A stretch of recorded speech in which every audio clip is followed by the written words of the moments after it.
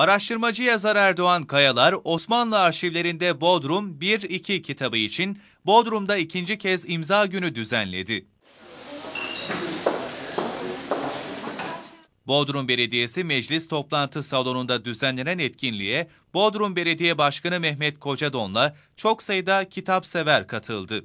Araştırmacı yazar Erdoğan Kayalar'ın Halikarnassos'un Osmanlı topraklarına katılmasından sonraki yılları içeren belgelerden derlediği ve 2008 yılında çalışmalarına başladığı 3 yıllık çalışması olan Osmanlı Arşivinde Bodrum 1-2 kitabı için ikinci kez imza töreniyle kitapseverlerle buluştu.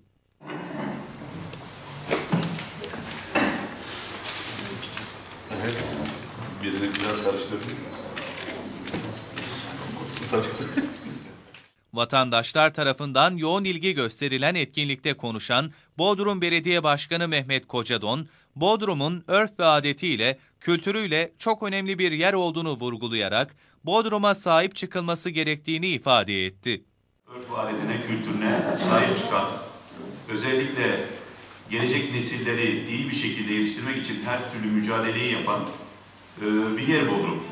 Ve bunları yaparken de Size açık ve net söylüyorum. Tabii ki bizden büyüklerimizin bize bıraktığı çok güzel bir miras bu payısası. Daha sonra Kocadon Kayalar'a bir kalem hediye ederek çalışmalarının devamını diledi.